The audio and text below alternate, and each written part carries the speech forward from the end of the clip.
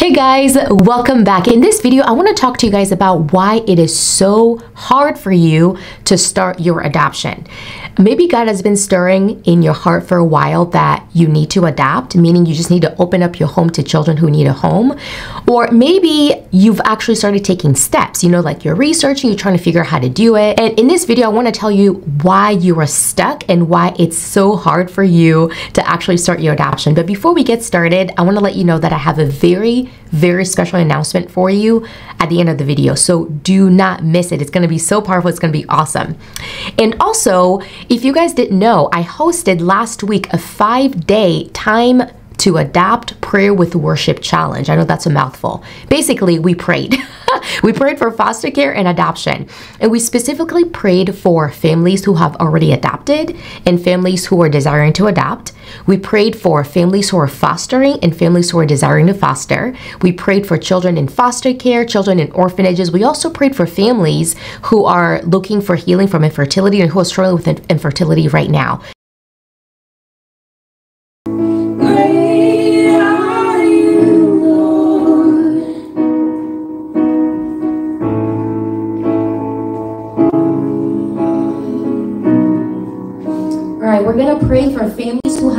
Desire to foster children out of Psalm 68, verses 5 and 6. A father to the fatherless, a defender of widows is God in his holy dwelling. God sets the lonely in families, and he leads out the prisoners with singing, but the rebellious live in a sun-scorched land. So God, I thank you that you are a father to the fatherless. God, I thank you that that is what you call yourself. So, God, I thank you for families who actually have a desire to foster. I thank you, God, for the, for the father's heart that you've placed inside of them to be a father to the fatherless. It was a really, really powerful time of prayer. And Emily actually testified after we prayed for her that they had breakthrough in their adoption journey. So if you were not able to be with us last week and watch those lives, go to the playlist tabs after you finish watching this video and click on the prayer with worship challenge and you'll see all the replays right there, okay?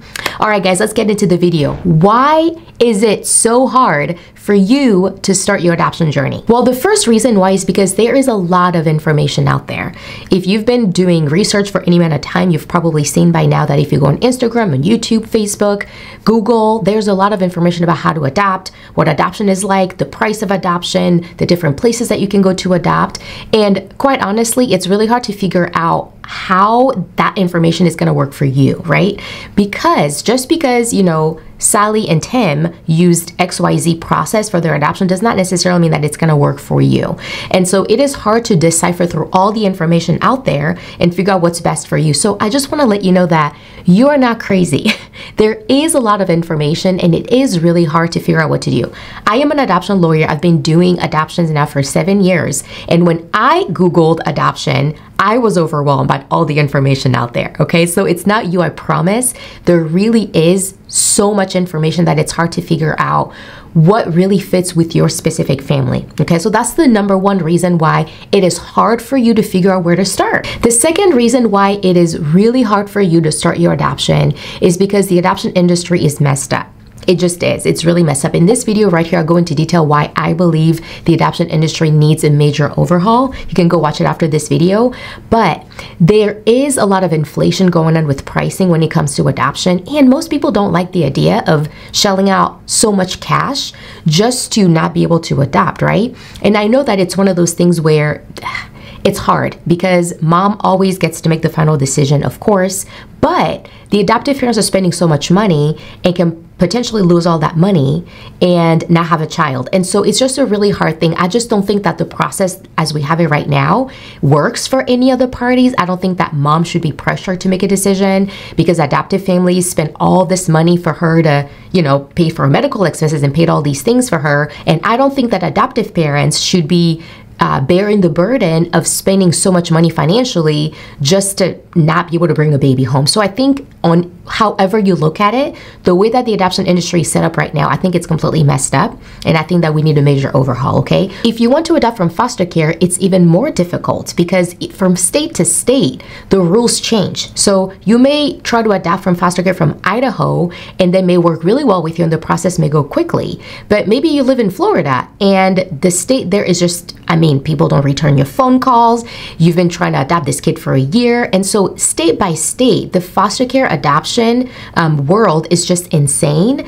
And just adoption in general all over America is really hard because the states are different with their adoption rules, adoption laws, and all the things that you can or cannot do. Okay. So, that's the number two reason why it's really hard to know where to start with your adoption process.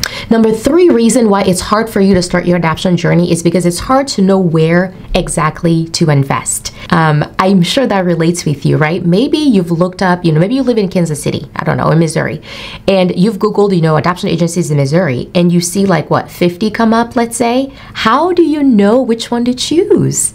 Right? It can be so overwhelming. Like, do you go through their websites, read through all their information? Do you call all 50 agencies? And then, even if you do call the 50 agencies, how do you know what questions to ask? so that you actually get the answers that you need to make good decisions um, for how to move forward with your adoption. Okay. One of the things that you'll hear a lot on social media is people will tell you, you know, the first thing you need to do when you start your adoption is to do your home study. And I want to tell you, after all these years of being an adoption professional, that is not true. The first thing you should do when you are doing your adoption is to actually know all the different options you have and to be so confident in that that you actually know the right path that you need to take because you know all of your options, okay?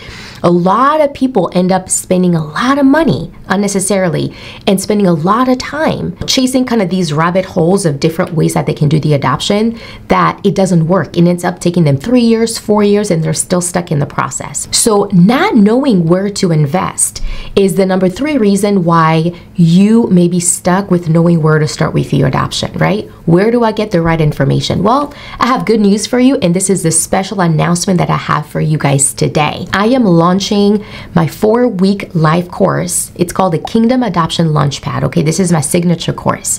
And during this four week live course, I am going to equip you with the tools, the knowledge, and the support that you need to start your adoption journey confidently and to create an adoption blueprint that is right for your family. So, over the course of the four weeks, we're going to cover an overview of the different types of adoptions available to you. We're also going to talk about all the different ways that you can adopt a child. We're going to help you create a personal adoption plan that aligns with your family's views, your family's goals, and where you want to be in the next year or two. And so you'll have a comprehensive roadmap on how to start your adoption for your family. Okay, so no more trying to figure out where do I go? How do I fit this information And That's what we'll do in this course.